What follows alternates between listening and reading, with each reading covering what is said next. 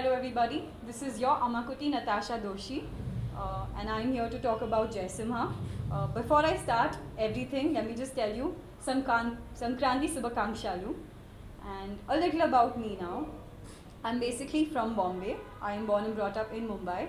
My mother is a Malayali and my father is a Gujarati. So essentially, uh, I'm a mix of uh, two very different states. Uh, and of course, I live in Mumbai. That's a little about me. And educationally, I am a dentist. So I'm actually Dr. Natasha Doshi. And I'm here talking about my Telugu debut, Jai Simha, with Bala sir. And it's my privilege to be here today. uh, how I got NBK 102. So actually, more than me coming to the movie, the movie came to me. Uh, Kalyan sir and Ravi sir were looking for an actress to do my role, and I think they had seen over 100 girls to do my role, and they weren't happy with anything. Everyone that they kept meeting, they were rejecting uh, because they hadn't found the right person for it. Uh, and then when they actually came across my photos via some people, and when they saw it, they called me down. I went, I heard the story. I had a beautiful story. I fell in love with the story right then, and I had nothing to think about because it was directed by Ravi sir. It was Kalyan sir's banner, and most importantly, I was getting to do my Telugu debut opposite Bala sir. So it was the best thing that's ever happened to me in 2017. My character's name is Dhanya, and uh, you have to forgive me for this. Uh, we aren't actually allowed to talk a lot about our character because uh, our story is such where if we talk a little too much about our character, it kind of gives out the story. It's a puzzle, and everything is very interlinked. But I can tell you a little bit about my character. Uh, my character, Dhanya, she is actually uh, living abroad. She's an NRI. And Murli sir is playing my father, Murli Mohan. He's my nana in the movie. And Murli sir is a very conservative and orthodox person. He is the he's the head of the temple in Kumbakonam, and um, he didn't have a daughter for many many years. And finally, he had a daughter who is Dhanya. So they treat her like a princess. They give her whatever she wants. She's a spoiled girl. Uh, I'm living abroad, and when I come back to my village, uh, the incidents that take place and what happens then is what goes around my character in the story. Oh, sorry. Match acting with Bala. Oh, energy levels. Yeah, Bala sir is uh, one of the most energetic and enthusiastic persons I've ever come across. He is filled with energy, filled with happiness and joy. And to be around him, you actually kind of imbibe that energy, and it makes you want to do more, and you want to like push yourself to have the same energy level. And uh, in general, even I'm quite an energetic person. But Bala sir, of course, he is uh, probably one of the most uh, inspiring people you'll meet, and he inspires me to be better. You know. Any memorable moment in shooting that? uh, I wouldn't be able to pick one because every single day with, has been memorable shooting for this film. And in fact, on the last day of the shoot, I actually almost had tears in my eyes because we had grown as a family. So there was such a close bond, and everyone that I worked with, whether it's my crew, whether it's the technicians, whether it was our DOP, our assistant directors, everyone really went out of their way to make me feel at home and help me feel warm. Uh, so I never had any hesitation that okay, I'm new to this industry and I'm new to this uh, city. So I never had any of those problems, and they really made me, they really helped me uh, feel happy, and that's why I'm always happy and thrilled to come to Hyderabad and thrilled to come and work in Telugu. What's your director? K.S. Ravi sir, K.S. Ravi Kumar, sorry. See, as I say, K.S. Ravi sir. Uh, he is one of the greatest and finest directors in the country. So to actually get this opportunity where he thought I was worthy enough to do a role in his movie, it meant a lot to me. Uh, he didn't have any uh, second thoughts when he saw me. The minute he saw me, he knew that this is the girl I want in this movie for this character. And uh, that itself gave me so much confidence. When one of the greatest directors who's directed Rajnikant sir, Kamal Haasan sir, thinks I am worthy enough to be a part of his project. And Ravi sir is one of the most intelligent persons I've ever come across. He is a genius.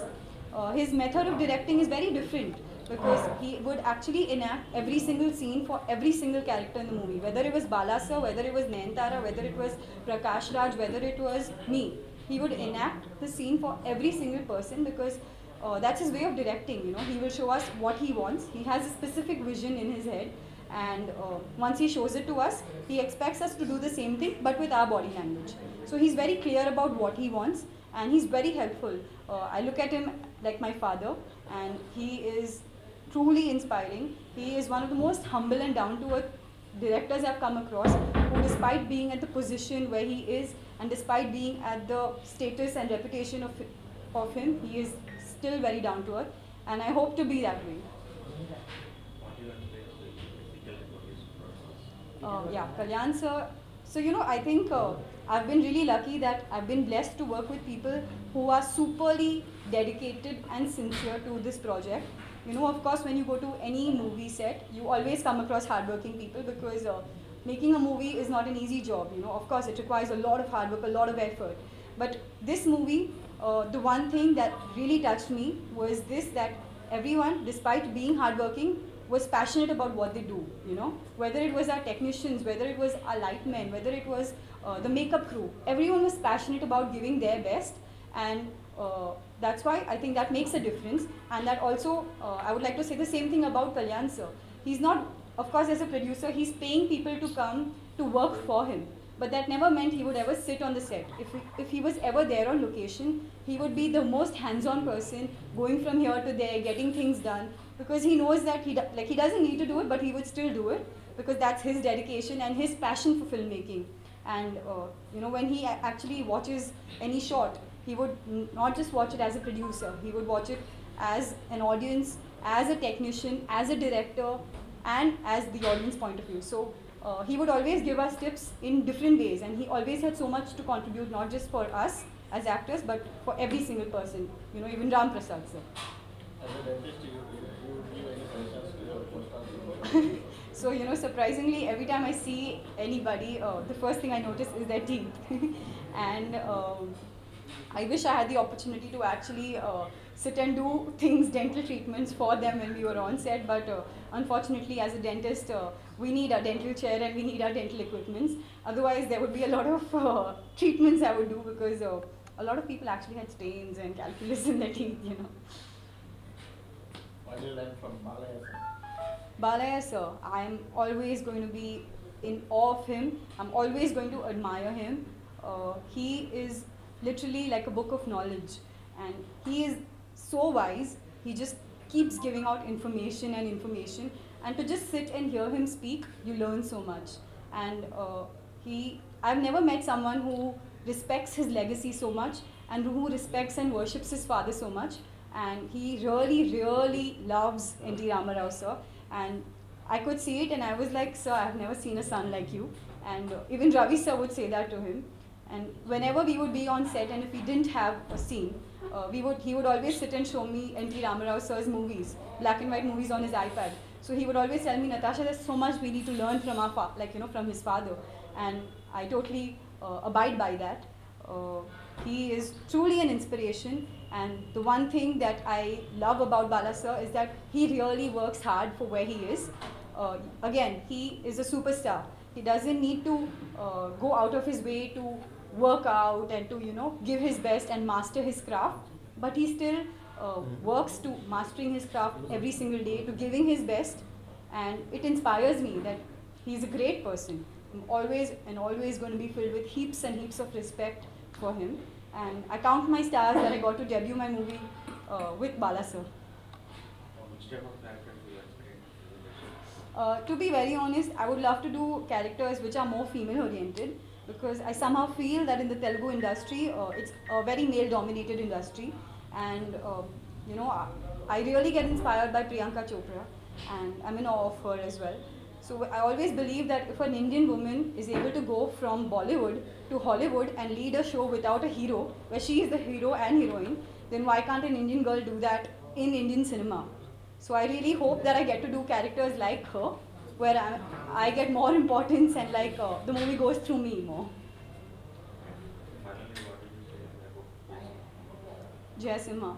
Uh, I always say this and I will still say this. Jayasimha is like a roller coaster and you will be taking this ride with us. We're going to experience some great highs which will be filled with happiness, filled with love, filled with color and then you will experience some great lows which will be some very intense scenes. Uh, our entire cast on board is, it's an amazing cast. We have Prabhakar sir, we have Ashutosh Rana, Prakash Raj, Nayanthara, Haripriya. So our entire cast is amazing.